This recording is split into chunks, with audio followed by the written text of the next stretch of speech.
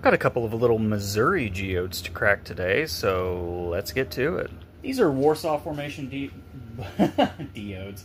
These are Warsaw Formation geodes, and the rock that they form in dates back to the Mississippian. Ooh.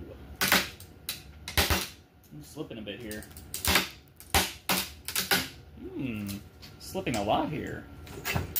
Okay, well, that's fine. We'll just reapproach this from a different angle. Alright, this one might be a semi-hollow, but we'll see.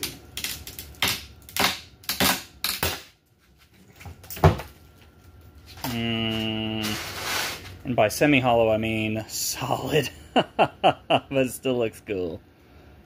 Okay. Well, this one can go in the tumbler. It'll look pretty cool.